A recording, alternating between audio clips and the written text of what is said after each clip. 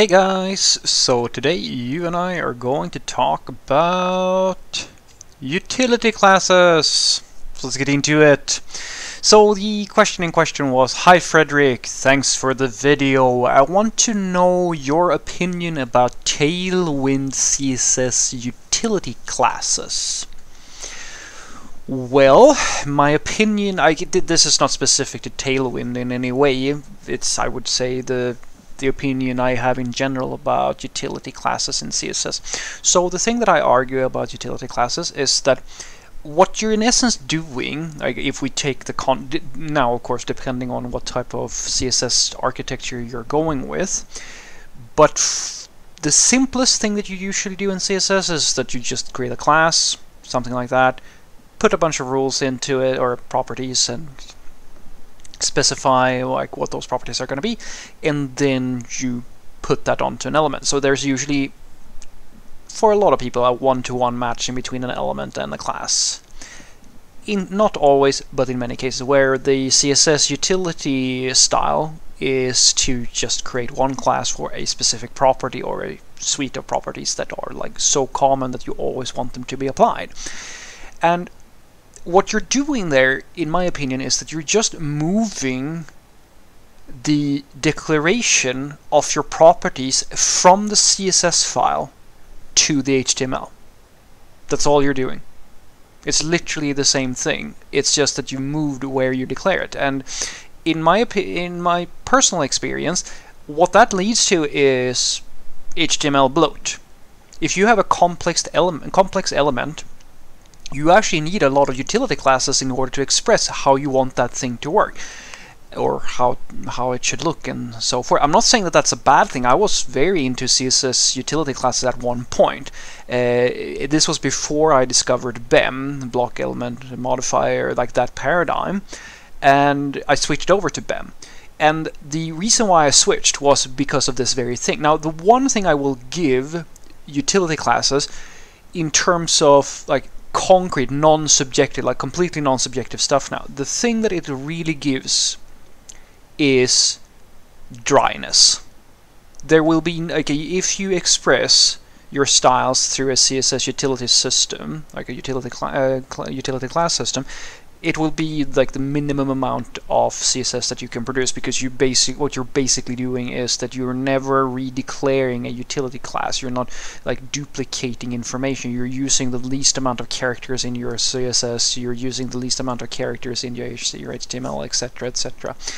Uh, the thing is, though, that sounds all good and well on paper, but I've found that there's actually a better way to do that, in my opinion. This is just me completely, Fredrik, saying that this is there's a better way, and it is actually even smaller in terms of footprint if we're going to make that argument.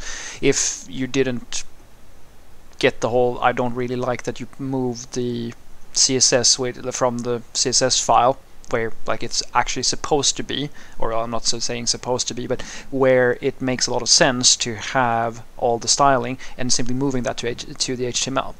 Uh, the the thing I've found is that with BEM, as an example, this whole like you you get a one. It's usually the case, right? You have a one-to-one -one mapping between a class and an element on the page.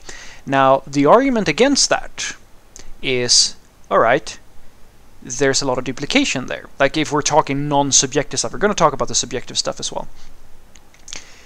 Yes, BEM has more duplication because it's the same thing as most other CSS style systems that you could be using. You, are redeclaring properties, you're using colors in multiple places, etc., etc., instead of just declaring them in one place. Now, what I argue though is that if you use a compiler, CSS compiler such as Sass, Less, it doesn't really matter, PostCSS, whatever, every single one of them will have the ability to include things or to do an extend of some sort. And as soon as you can do an extension, you have the same thing that CSS utility classes is giving you, which is composition. It's a, for the functional nerds out there. Composition is what CSS utility classes gives you. You have the ability to pick and choose how you want to compose something without redeclaring it or without creating a custom like duplication or anything like that. And that's the thing about using extensions and so forth. Depend uh, you need to look at like the output because depending on what compiler you have, you might actually get some duplication. So I'm not going to swear by this, but conceptually that is the same thing. So in other words, if you create a single class and you have like abstract or like super classes, which like it would be the same thing as the utility classes, uh, in your CSS. These things, like they will simply be there to be an extension of whatever you get. Now, the output, of course, is still going to contain like the duplication because uh, I mean, you can't, unfortunately, at this time extend like uh, when the browser is going to run that code. There's going to be duplication. Like you don't have to have duplication in the code that you're writing, but you're going to have uh, duplication in the output. And so effectively, you're still like you're still doing the duplication, but you could like keep it dry if you wanted to. But uh, honestly, to God, guys, what I'm saying here is that the if you're that into optimizing the size of your CSS. Like you're so into it that the amount of characters that you use in order to express your rules makes a difference, then you, by all means use utility classes. But as I said, it comes with the trade-off that you're bloating the HTML instead. So you're someone can probably take a look at doing the do, looking into this deeper. But in F, in essence, I don't see like there is a negli like a negligible difference because I mean if you have BEM you have one class name to one element in utility if you use utility classes you have I mean as an example if you have the exact same element well that's a bunch of utility classes repeated over and over. So there you're actually losing characters because you could just reuse the same utility. You could in BEM or like having a class you could just use the single class uh, declaration for the same thing. So you're not actually wasting more characters. Yeah, that's what for me what it really comes down to. It's uh, this argument that utility classes is drier is only true depending on how you do it.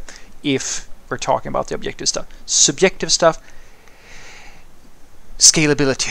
Like it even says on Tailwind's uh, homepage that whoever this famous person is, uh, work, uh, who is some lead person, uh, at the famous company states that it's the only scalable thing that she's found to work uh, for large uh, for large teams.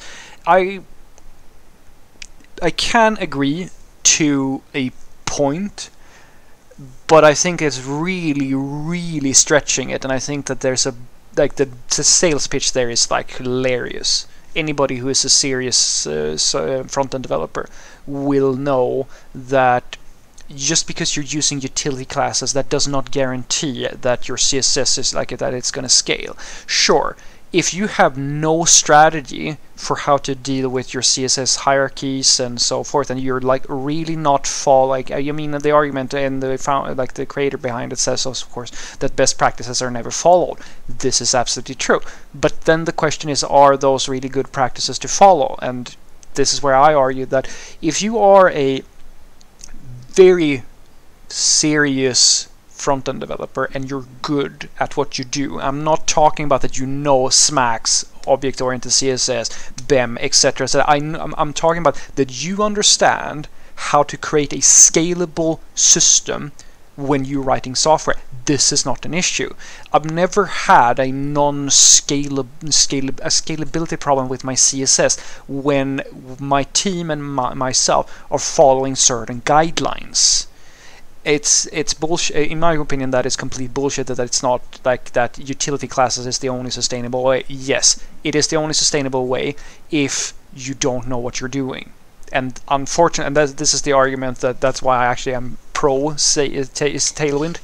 Tailwind makes it really easy, or CSS utility classes. It's it's really scalable in that sense because if you're gonna mix developers who really know their stuff with developers who don't know their stuff or don't really care all that much, this is a very good system to do so because it it requires no cognitive effort. Like all you have to tell them is, hey, here are all these building blocks, put them together to create your style, but you're only allowed to use those building blocks, those utility classes, nothing else. It's a very simple. I'll that that I will give uh, utilities uh, classes. So what I want you to take away from this is basically that overall my preferred style. If uh, usually what I say is that uh, if I'm working on a single client problem, in other words, there's just one set of uh, applications that's going to use the styling and the components or whatever I'm creating, I usually use BEM. The reason is very simple. It works very nice for my workflow. It is extremely performant. You can like cross like you can compile things on multiple threads and so forth.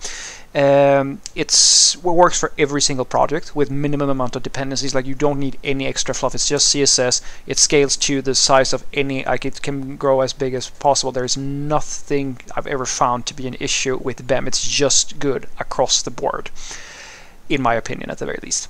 Uh, downside is, uh, or like that one time I will give utility classes a thumbs ups and say, hey, this is actually, it does make sense, is that it, when you're dealing with, uh, when you have issues of um, experience levels with the people that you're working with, if you have no way of controlling how, like if people can continuously fuck up the CSS and like create really bad uh, inheritance and so forth and you have no structures you can use utility classes. But in my opinion that's like you shouldn't that's just like using microservices to deal with legacy code. It's the, you're using the wrong thing to solve the wrong problem. It's you should be educating people you should be doing other things in my opinion.